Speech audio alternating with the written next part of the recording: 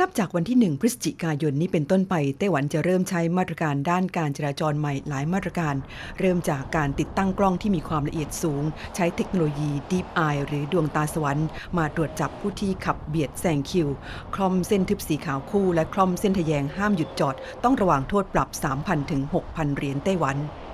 เริ่มจากเดือนพฤศจิกายนนี้เป็นต้นไปเช่นกันกรุงไทเปจะกวดขันการจอดรถในที่ห้ามจอด รอบสถานีขนส่งไทเป ต้องระวังโทษปรับสูงสุด 1,200 เหรียญรถจักรยานที่ทิ้งเกะกะจะถูกลากไปเก็บ เจ้าของต้องจ่ายค่ารากรถ 100 เหรียญไต้หวัน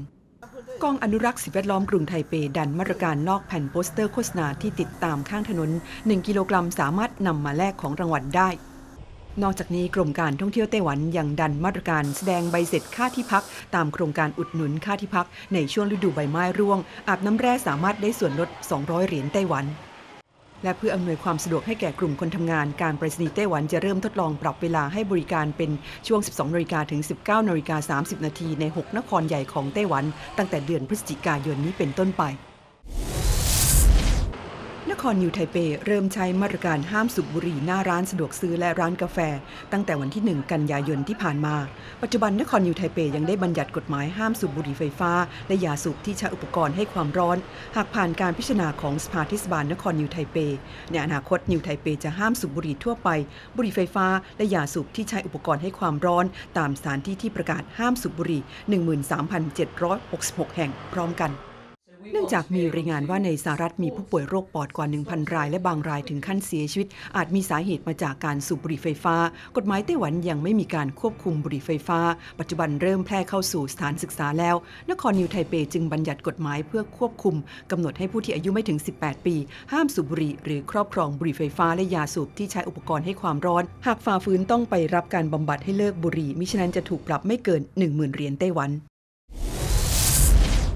างการไต้หวันทลายแก๊งต้มตุ๋นที่ใช้ใบเสร็จกำกับภาษีถูกรางวัลมาขึ้นเงินในช่วง 3 ปีที่ผ่านมาเชิดเงินไปได้ร่วม 16 ล้านเหรียญไต้หวัน นับเป็นครั้งแรกที่ไต้หวันพบกลโกงใหม่นี้ เฉพาะช่วงเดือนกรกฎาคมถึงสิงหาคมปีนี้ใช้วิธีออกใบเสร็จในราคาเพียงเล็กน้อยแต่มีจำนวนมาก เพื่อเพิ่มโอกาสถูกรางวัลใช้ต้นทุนเพียง 3 0 0แสนแต่ได้เงินรางวัลไปถึง 2.2 ล้านเหรียญไต้หวัน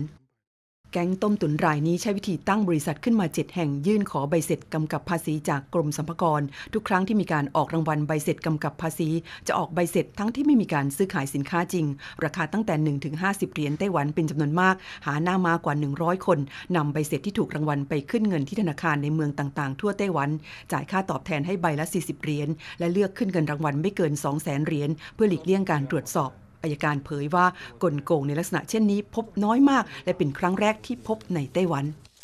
หัวโจกแก๊งต้มตุ๋นสองราย ซึ่งถูกตำรวจรวบตัวได้มีหนึ่งรายสารไม่อนุญาตให้ประกันตัว ยังมีสมาชิกแก๊งอีก 10 กว่าคนสารอนุญาตให้ประกันตัวในวงเงินตั้งแต่ 20,000 ถึง 1 0 0 0 0แสนเหรียญไต้หวันกรมสรรพากรย้ำว่าใบเสร็จกำกับภาษีที่นำมาขึ้นเงินรางวัลทุกใบ มีข้อมูลของผู้รับเงิน หากตรวจพบว่าเป็นการต้มตุนจะเรียกเงินรางวัลคืน และจะถูกดำเนินคดีตามกฎหมายอาญาด้วย